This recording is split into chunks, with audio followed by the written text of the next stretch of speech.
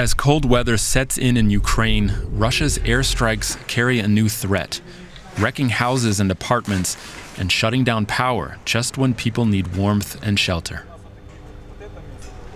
An October day in Kharkiv, four days after a Russian missile exploded in this street, smashing the windows of almost every apartment on the block.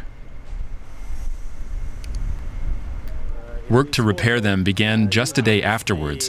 It's a tactic they call fast recovery, fixing up minor damages as soon as possible. This enables people to stay in their homes, keeping space and shelters free for those who need it the most. Most of all, we do fast recovery.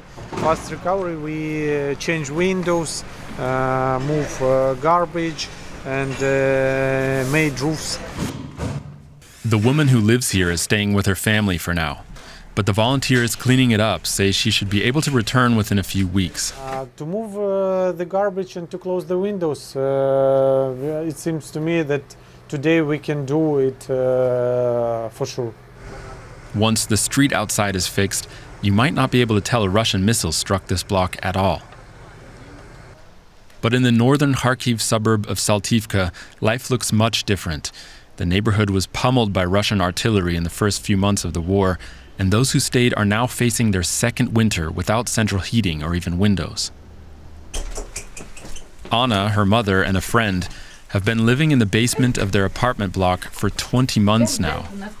They moved their lives underground because it's warmer there. They can heat with this old wood stove. Якщо потоплювати, тоді так. А так, звісно, набагато холодніше. Ну, ну, замерзнути не замерзнеш, але краще, ніж у квартирі. Підтримка, перш за все. Моральна. Що, як кажуть, це для нас дуже дуже важливо. Ми тут всі, знаєте, от інколи падаємо духом трішки. Ну, як кажуть, спочатку це якось не так відчувалося, а зараз, коли трошки це проходить, ми ждемо кінця війни, а її. Anna plans to move back upstairs once the central heating is fixed, which the government has promised to do. But the work hasn't started. She's worried that the building could grow mold and start to deteriorate, and then she'll never be able to move back in. Anna's building is, in fact, low on the city's priority list because it's too badly damaged to repair quickly. Several of the buildings in the Saltivka neighborhood are in this predicament, and many of the residents are growing impatient with the city authorities as the second winter of the war sets in.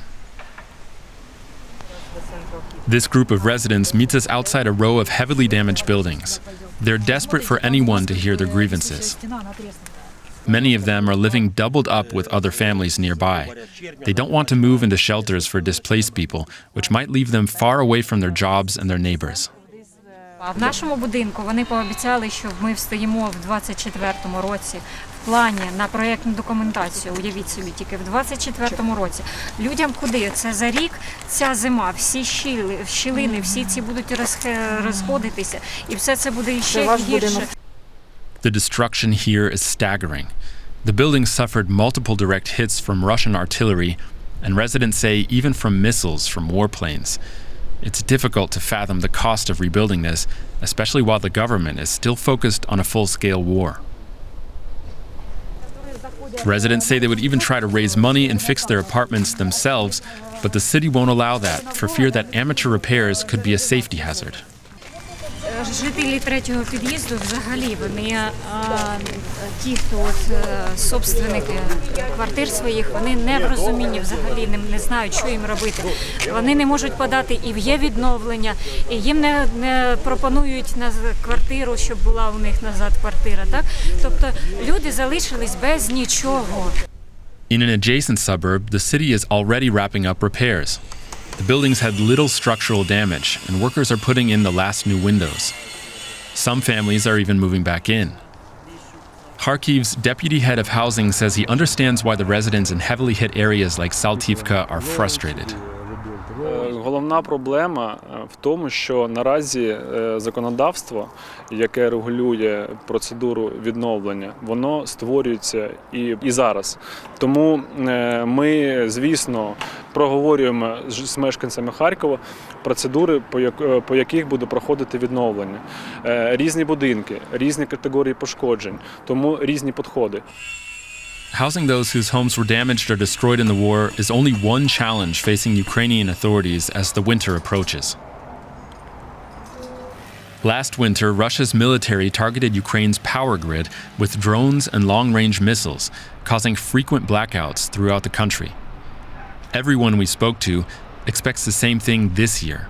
The same, except for one thing. Ukraine has learned a lot about Russia's strategy and has been preparing for this cold season all year.